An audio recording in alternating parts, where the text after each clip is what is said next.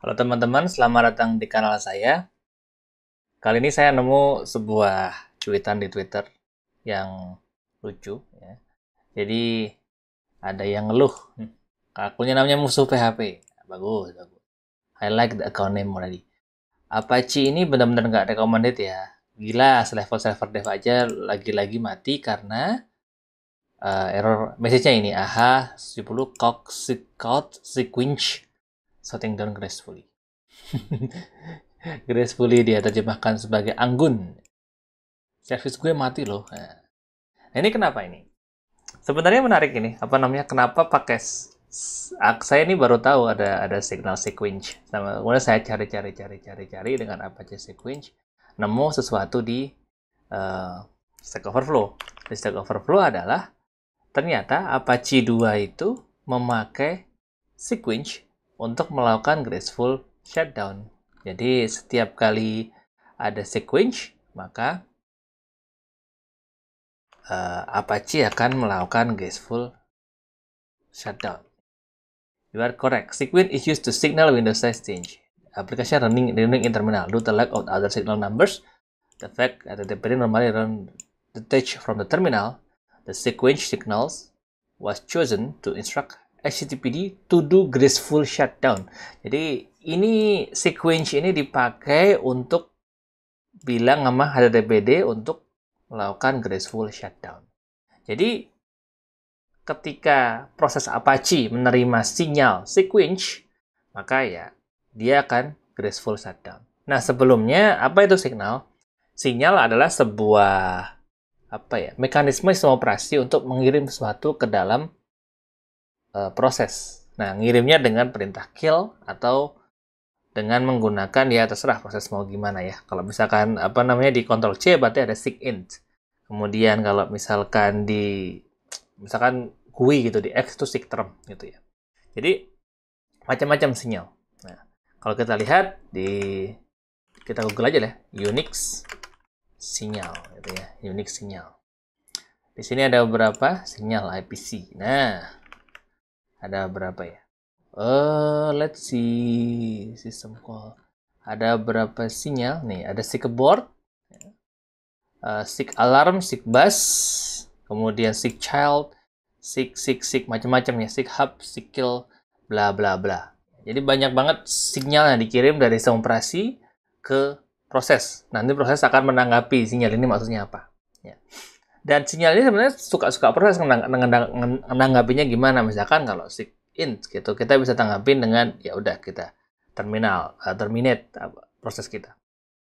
Nah, sequence itu lucu. Sequence itu kalau terminalnya ganti Windows size, dia akan ngasih uh, apa namanya? Dia akan ngasih sinyal ke prosesnya buat buat ya terserah proses itu mau dihandle boleh mau mau enggak ya bebas gitu Nah, Apache ini lucu.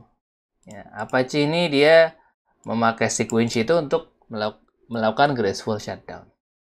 Nah, di Twitter ini saya saya bilang ini kan sequence gitu. Kok aneh banget gitu kan di bawah. Uh, hmm, enggak ada ya. Nih, di sini. Sequence.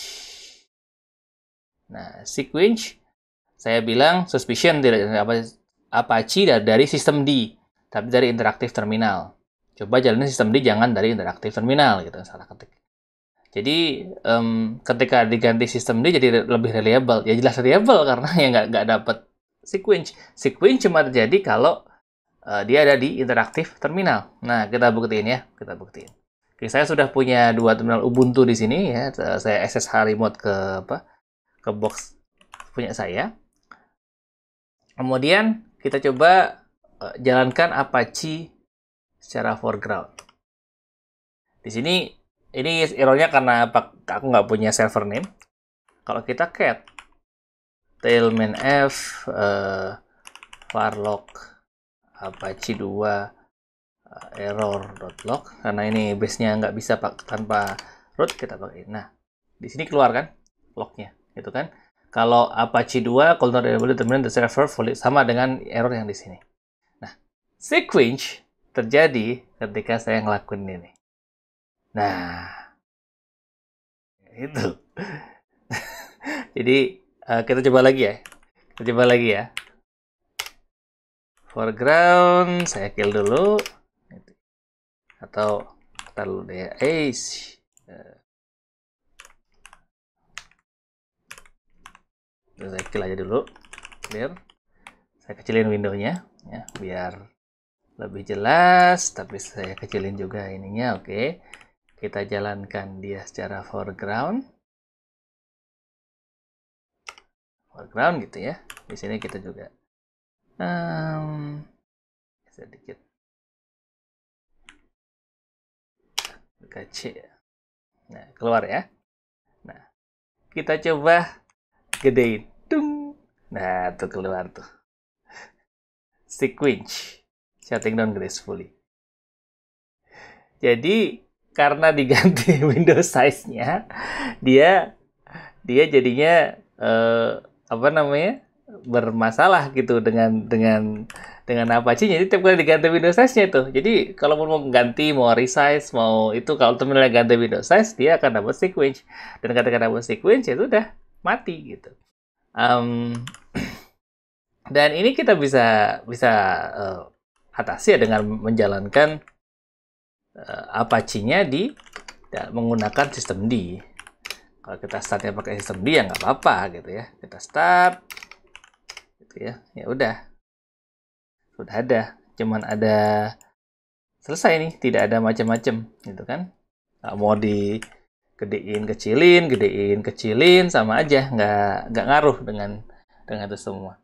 So jadi di Apache jangan menjalankan Apache di interaktif terminal karena tiap kali kita ngelakuin ini akan meninggal. Jadi pakailah sistem D gitu ya. Kalau mau di stop ya pakai ini stop. Kelihatan. Nah, tuh. Jadi sebenarnya ketika di stop dia ngirim sequence juga siapa sistem CTL ini. It is very weird. Tapi itu pelajarannya jangan jalanin Apache di interaktif terminal. Gitu aja. Oke, kalau gitu kalau mau bisa programming nggak usah rungsing. Buka IDE. Nggak usah pakai Apache, pakai Nginx ya. Biar nggak kejadian kayak gini, lalu coding aja dulu. Bye-bye.